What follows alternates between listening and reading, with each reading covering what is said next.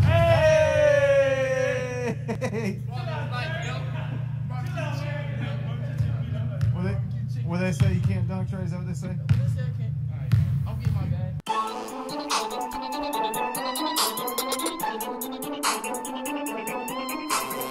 Who is Oklahoma Sooners Trae Young? Now let's just start from the beginning. He was born September 19th of 1998. His parents are Candace and Rayford Young. They have been married for 17 years. He has one younger brother and two younger sisters. Now let's just start from the beginning where Trae Young first learned to play basketball, right? He was three years old playing basketball in the living room with his grandfather, right? Rest in peace to him, he did pass away. But he did learn the game at three years old, very young age. Now, moving on to the seventh grade, he decided that dribbling and passing was born. He didn't want to do that anymore. What he wanted to do? He wanted to learn how to shoot. Not just any shot. He wanted to be the guy on the basketball court who shot the furthest, right? So let's just talk about his dad now just a little bit because he's going to dramatically impact Trae Young's life. Now, he's a former Big 12 point guard for Texas Tech, right? And he feels that he's underachieved and he does not want Trae Young going through the type of things that he went through. He feels like if he would have worked harder, trained a little bit harder, and not been so soft, he could have fulfilled his dreams and made it to the NBA. Now, he he did play some basketball in Europe, and then he was successful at moving his family back to Oklahoma, where he now sells medical equipment. Right. So entering high school, his parents had to make the decision to take him out of a polished school and put him in a more school that was di- more school and put him in a school that was more diverse. Now, with that being said, this is the reason why uh, his parents decided to do that. See, Trae Young's father grew up poor, right? So he basically wanted him to have that experience, you know, in a lower class, you know, less technology. Let uh, the people around him are definitely not the same. You know, over here is high class, over here is a low class. So basically, his father had to drive him every day to school so he could play with the other kids, the the kids that were more hardcore, you know, the kids that are really bring it to him, you know. They talk, you know, he wanted him to deal with stuff like them talking about his skin color because he was mixed, um, him having the best clothes, the best shoes, you know, living in a big house, you know, stuff like that, you know, little stupid stuff. But at the same time, this helped him throughout his career because now when he screams stuff like Trae Young sucks, this and that and the third, he knows how to deal with stuff like that. I mean, Michael Porter Jr. was on his team, you know, stealing some of his shot. Well, all of his shot. He was ranked number one in the nation. But anyway, it's not about him, and I'll probably do another video on him. But moving on. Now, on the on the drives there, his father used to basically talk to him, right? This is this is going on roughly around his freshman sophomore year. So his father used to talk to him. He used to, you know, throughout his training, he used to tell him stuff like, do you want to be like me? Do you want to have the type of career I had? Or do you want to go to Duke? Do you want to go to Kentucky and play like that? So he was pushing Trae, you know, to train harder. And he also, you know, threw it at him at, you know, other angles. He used to hit him like, yo, do you want to be a local hero? Or do you want to be great? Do you want to be somebody who actually makes it to the NBA? You know, so he used to, you know, put his son on game, giving him that knowledge because he has been through that and he knows what to look for.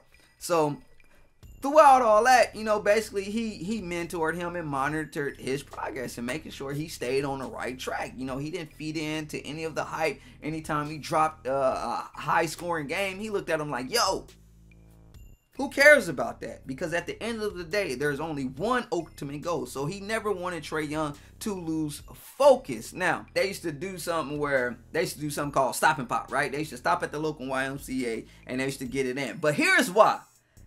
His mother did not allow a basketball goal at the house.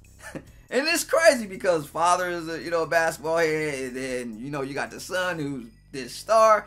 But Mom Duke ain't let no basketball be at the house because she she went through that with you know Rafe, and she don't want to do the same thing with Trae. It's like keep basketball away from the house. When y'all come home, it's family because one thing about her, I believe her father was like a preacher or something like that, or a deacon of a church or whatever, whatever. But she's more on the family, and her ego and Trae ego is more the same. That's why you see Trae Young on like Instagram or on Twitter, you know, mostly with his family. Like it's we don't. I don't even know if this dude has a girlfriend or anything like that because he works so hard and he's so family oriented. Like he's definitely on the right path. So with that being said, they were doing these stopping pops. So basically, he go into the YMCA. He makes them take uh, 50 to the lane. He makes them take 50 jump shots uh, from college, and then he makes them take 50 NBA threes. And this was all going on in high school. And then he would probably go to about half court and shoot 50 more shots, right? And then he also and he extended the training further on. He used to take 103 point shots a game. Steph Curry does the same thing. It's called basically the two miss rule, right? It's like if you miss two in a row, you start all over. Trae Young did not miss two in a row. If he missed the very next shot, he'll hit. All right. So freshman year he didn't play because he switched districts. Now you got now you have the sophomore year. Sophomore year he comes in, he's balling out.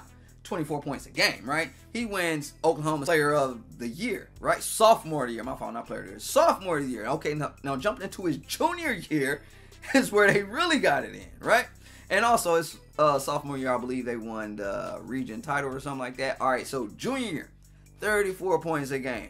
Crushing. And he also wins Player of the Year this time. Moving into his senior year, 42 points a game. This kid averaged 42 points a game. He is not athletic. He's not a dunker. He shoot threes. Like that is that's that's ridiculous. Okay, so that summer he had a gold medal in the U.S. Uh, games under 18. Gold all day. Shout out to them boys. And then um, he was basically recruited by everybody in the nation. Everybody wanted this this kid, right? So at this point, his mother was you know she used to do things with the girls and and the youngest son she she was on that side while Trae and dad was over here doing like stuff she didn't know about we gonna say stuff right now because we know what they were doing but she didn't know and she found out because i mean she knew they was training and playing basketball but she didn't know at what magnitude it was at until she was just getting a ton of phone calls at the house, like back to back all day. NBA scouts, um, trainers, people uh, trying to get with Trae, people trying to not get with him like that. I'm talking about like endorsements, people like that. You know, I'm trying to look at the kid, coaches and stuff.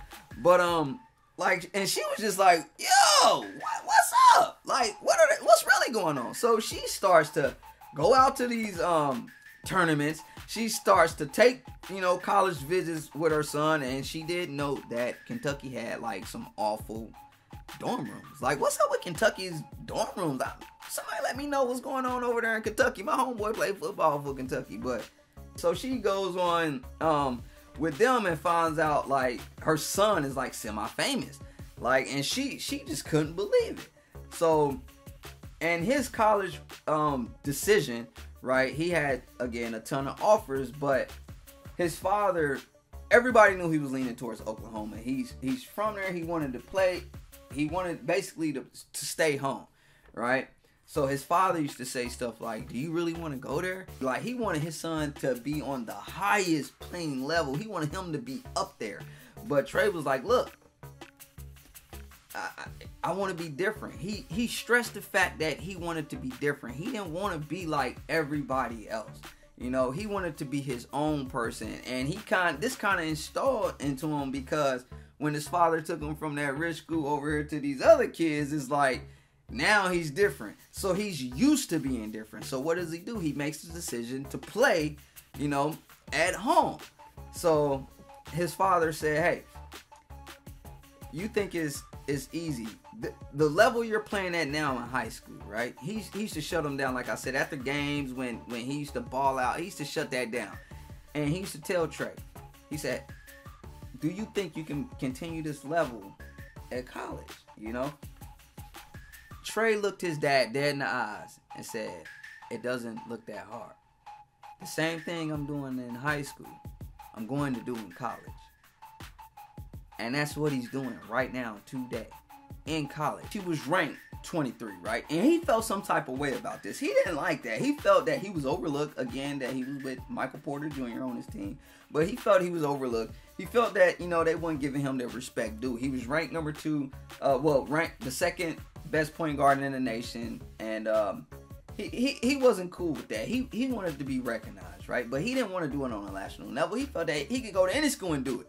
He said, as long as he shoot and play well, they'll come. And that's exactly what happened because he dropped 43 points against the Oregon Ducks, and that was the game they started comparing him to Steph Curry. Shot the lights out. Man, balling. Okay, then he comes right back. December, what was it? December 19th, right? 22 assists, tied the record, NCAA record, 22 assists. And not only did he get 22 assists, he had 26 points, man. Balling, right? So at this point in his career, right? And, and he's currently a freshman now playing. Um, but he went from being like a late first round, second round pick to a top three pick. Like instantly overnight. You talking about Ballers Life, Ballers Midwest, Elite Mixtapes, everybody covering this kid. You know, YouTube sensation right now. Balling out, right? Number one in the country in points. Number one in the country in assists. This is this will be the first time a player, if he finished with his average, uh, it was 30, I believe it's 29 and 10 now.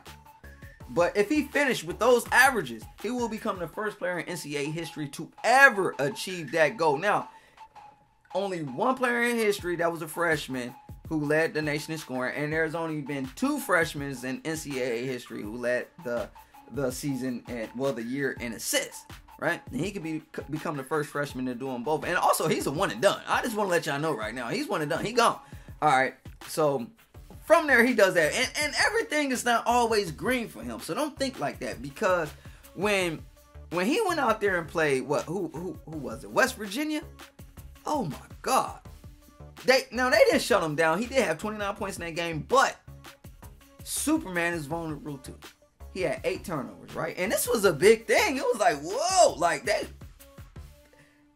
I don't know if it was a storyline or what's going on, but if you drop 26, 29 points and you get eight turnovers, it ain't like that dude locked you down, right? It ain't like he locked you down. I mean, you still dropped 29. Those eight turnovers can be unfortunate, but like I said, so he he hits a little lump in the road, you know what I'm saying? But he bounced right back. This dude dropped another 43 points, right? And seven assists. It was like an identical game. And then later on, he drops another career high 48 points. 48 points, college. Man, this dude is incredible. All right, so he they, they're calling this dude basically Steph Curry 2.0 right now, right? He, he isn't even done with his freshman year. Steph Curry 2.0, they comparing him to him. And Steph Curry is also one of his favorite players, if I didn't tell you that before, and also his top player of all time is Steve Nash, and he mocks his game after both of those players. So you're talking about a the evolution of Steph Curry, like you're watching Steph Curry in college right now with Trae Young. Also, let me tell you a little thing a phobia of Trae Young before I let you guys go. All right, this dude is afraid of birds. I'm dead serious. He is afraid of birds. There's been reports you know, from his college teammates, from his people on campus that look, if this dude see a bird, he's bouncing. He's going the other way, literally, right? Um, and I think his team first found out about this. I think these guys were overseas or something like that, and they were coming out, and then they seen this bird, and dude just like spazzed out. And then there was other cases where they'd be practicing, and he'd come out and see like a pigeon sitting there doing his little thing or whatever. Would take the long way around. That's crazy. Let me know what you think in the comments section. If you're new to this channel, make sure you hit that like button if you enjoyed this video and subscribe. I will be seeing you in the next one.